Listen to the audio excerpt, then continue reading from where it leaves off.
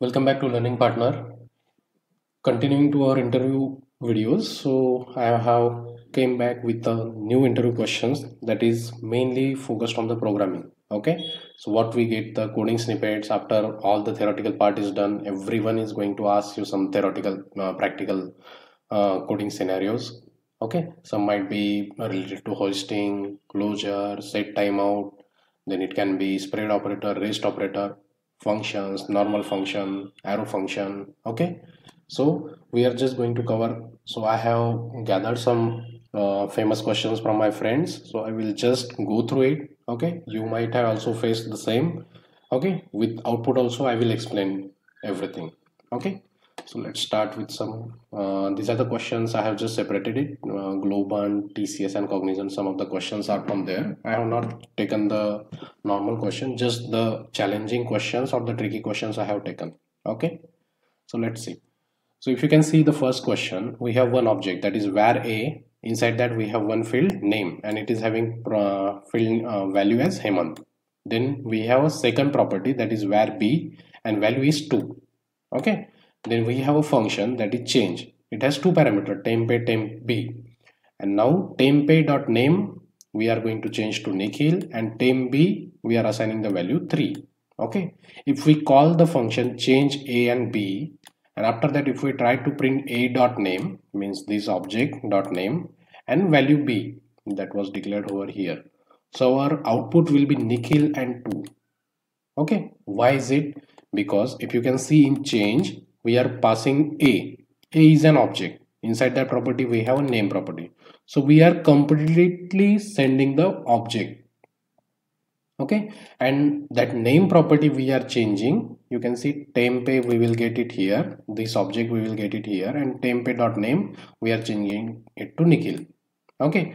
But because this was the object and if we change it here it is going to change over here also okay? The hemant will be replaced by nikhil. But in the second case we are sending b means b value is 2 okay? And we are changing it to the 3 it won't change the original value. Because this is a primitive data type and it's a object. So if we send object and then inside that field if we change some value it is going to reflect. But in case of uh, number or string it is not going to change. It will just change the parameter. Okay? So var b won't be changed so you can see Nikhil and 2 will be the output. Okay. Moving on to next question. Next is the set timeout. So this is a uh, very normal one. So we have console.log first, then set timeout. Inside that set timeout, we have printed console.set timeout. Then timer is zero and then console.log last. Okay. So some of you might get confused like zero is there. So first this log console, this will print, then set timeout will print, then last will print. But no, even if it is 0 it is going to take some time. So first this will be printed then last will be printed then set timeout will be printed. Okay? 0 is also kind of sum of a value now so it will take some time. Okay? Till that last will be printed. Okay? Doesn't matter what is the scenario. Interviewer might uh, confuse you with the zero timing okay but still it will end it will execute at the end. Okay? Moving on to next. So if you can see here we have function a. Inside that we have called function b then console.log a. Okay? Then we have second function b. Inside that we have printed console.log b. And i have just invoked first function that is a. So as you know javascript execute line by line so when we execute the when we invoke the function a it will come here. Then it will get console.log b uh, sorry b function invocation is there. So it will go here. It will print b. Then after performing all the lines here in function b it will come back and print the console.log a. So our output will be b and a. This was not that much tricky but still okay? Let's see the next. Okay it is again with the hoisting so if you can see we have a variable having name user username as Hemant okay then we have a function b. Inside that we, we have a set timeout and inside that set timeout we are calling print function with timer 0 print function is here okay? Then we have console.log username and username and again we are declaring var username is equal to nikhil okay? Now see just see properly we have a global variable username which is having value hemant and we have declared again same variable inside the function b with username nikhil. Okay? Then we have console.log username and we are triggering b function. So we are invoking just b function. So it will go here. Then it got set timeout. Okay? So set timeout will take some time. So first after that next line will execute. Now console.log username so now username is present here also and here also.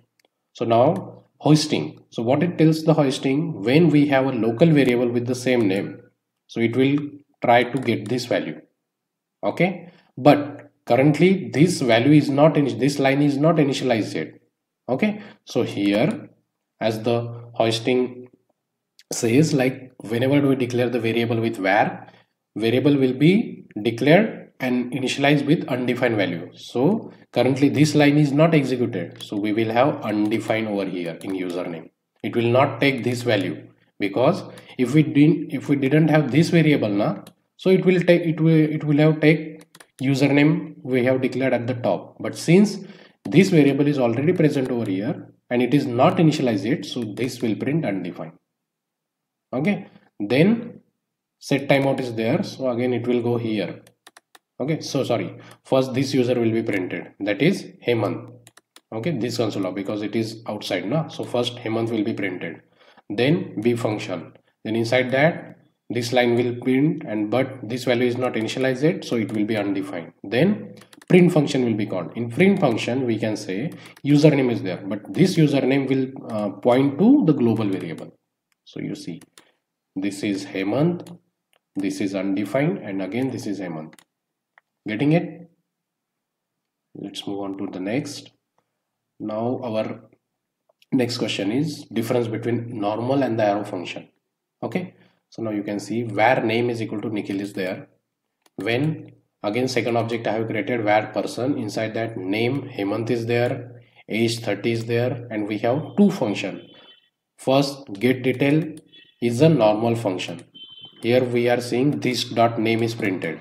Okay and second function that is get name. It is an arrow function. Here also we are printing this dot name. In both the function we have used this dot this of this context. Okay? Now again we have one more function that is print name. And here also we have tried to access name property using this. Okay? Now person dot get detail. First function what we have called is person dot get detail. So what it will do? Person dot get details this is an object and get detail. This is a normal function.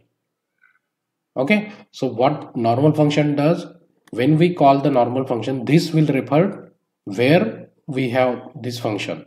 I mean this will point to the current object.